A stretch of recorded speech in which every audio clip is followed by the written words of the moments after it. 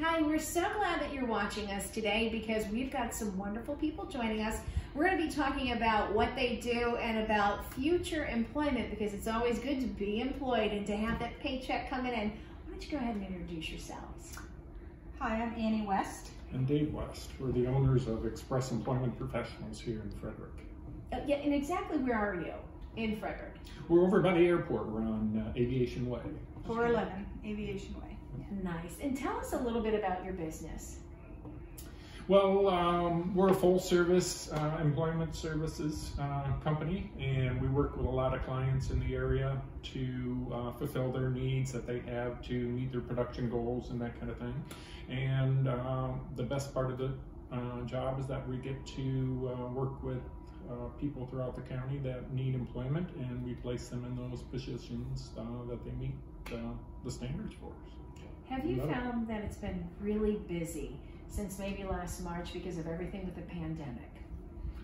Well, actually, you know, we've struggled a little bit uh, because of the pandemic because uh, the client companies uh, aren't really sure what's going on, what's going to happen. Um, so uh, we're we're very looking forward to uh, 2021 and uh, our business you know, is based on a lot of um, face-to-face, one-on-one interactions. So that's been a little bit of a struggle, but we're we're still doing it. Frederick's a wonderful community.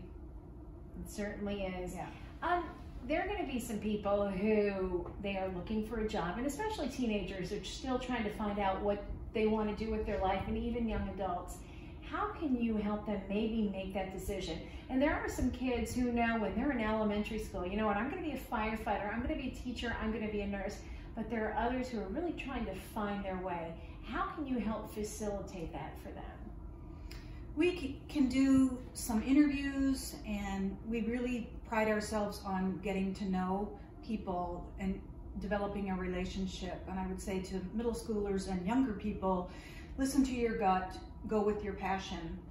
Don't just choose something because, you know, oh, maybe I'll get a hundred bucks a week and that's all I need for this. No, go with what you feel in your gut, what you were born to do, what your what your passion is. And if they need somebody to talk to about that, we have employment specialists and we can help with that. Yeah, definitely. We have, uh, you know, maybe not teenagers per se, unless it's older teens, early 20s type of thing, where you know they still don't quite understand what they really want to do, and uh, we we're able to put them into some positions um, that.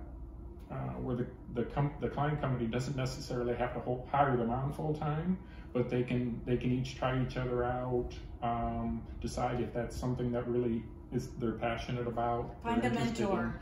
Find and, a mentor and mm-hmm. be in their you know, face and someone, if you share a passion with someone, they will be more than happy to, you know, if you don't have a, a parent or, you know, that can understand, there's mentors, there's, people are very generous with their time when they share a employment passion. Very nice. What's more important than your your job? Everyone has to have one and what's more gratifying than being fulfilled with that? Absolutely. What are some of the jobs that you help people to find right here in this area? Is it primarily things like maybe in nursing, medical, or is this region rich with different opportunities for people like engineering, maybe teaching? Yeah, uh, the health the health field is very strong in this area, although uh, we personally um, don't do a lot of work with that because if we did that, it would have to be a direct hire right to the company. Uh, and as I mentioned, we do a lot of evaluation hire where both can check it out, that kind of thing. But we do a lot of light industrial, skilled trades. We just placed a restaurant manager right up the road here in Middletown. Um, so we, you know, we run a full gamut. We're, you know, we're looking right now for a general, uh, high-level general manager, executive uh, position that we're trying to place. It's pretty so varied. It, it, it's a varied It's community. really quite varied. Um, but I would say, you know, uh, more than half of our positions are light industrial. They're, you know, it's in the logistics, uh, warehousing, logistics, uh, delivering uh, things at the moment uh, skilled trades, HVAC, um, those kinds of things. So. You said something about skilled trade and HVAC. There are a lot of kids, especially when they're in middle school, they're being told you've got to go to college, maybe you've got to go to military. They're really drilling it into these kids at a younger age when they're teenagers. You have to know what you need to do. To get a good paying job, do you have to go to college? Is it something that you have to go into the military? Or can you actually graduate maybe from high school and learn um, a trade, some skills without having to go to college? Definitely, yeah. There's um, there's a lot of great resources here in Frederick County as far as you know the community college, Hood College that you know that provide services and resources to get skills in HVAC or you know the skilled trades.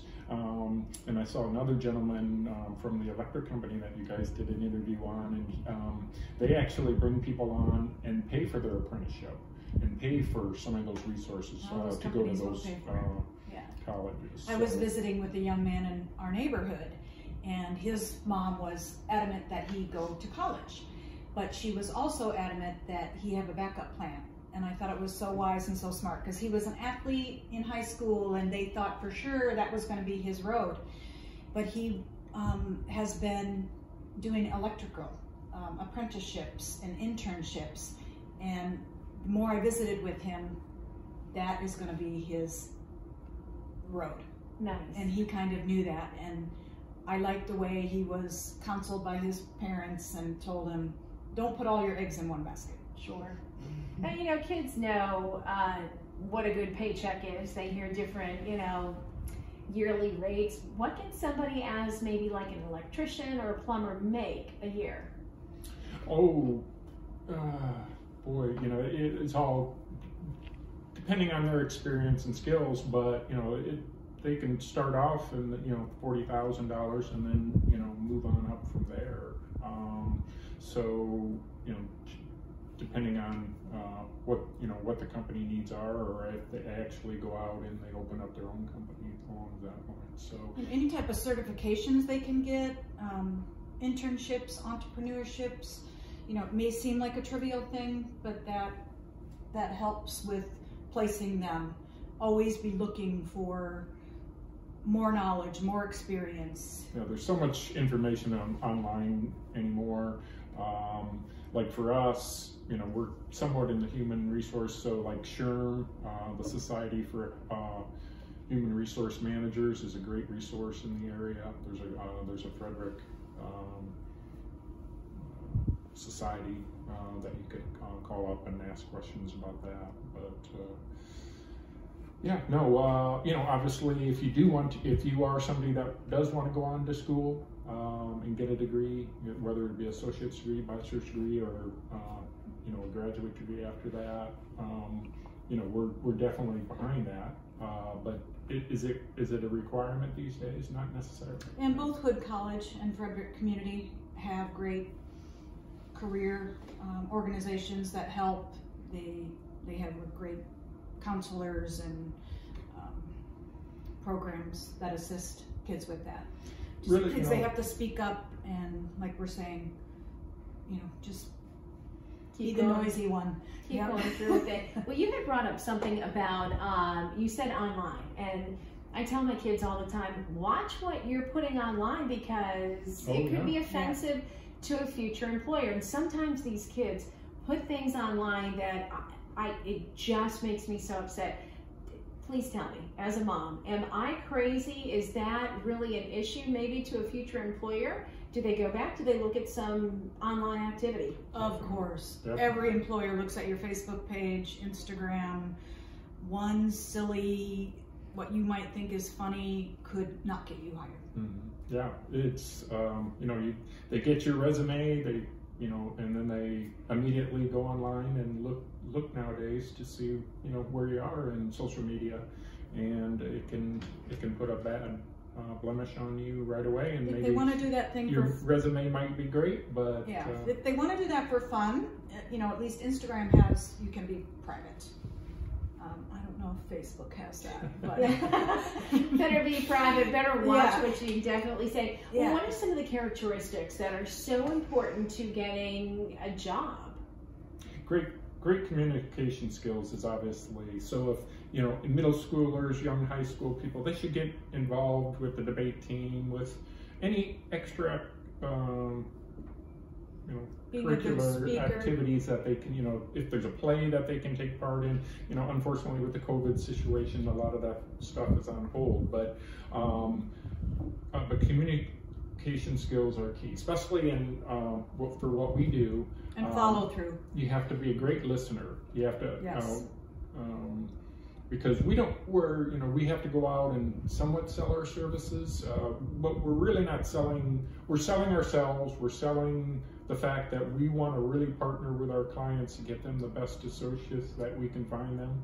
And then uh, we're actually selling ourselves to the associates, the people that, the candidates, um, that we are going to work hard on their behalf to find them work. So, um, but you have to um, listen well, ask great questions to really kind of figure out what it what is it that um, drives their passion. What is it that's going to make them enjoy going to work every day? Good integrity, following through, doing what you say you're gonna do.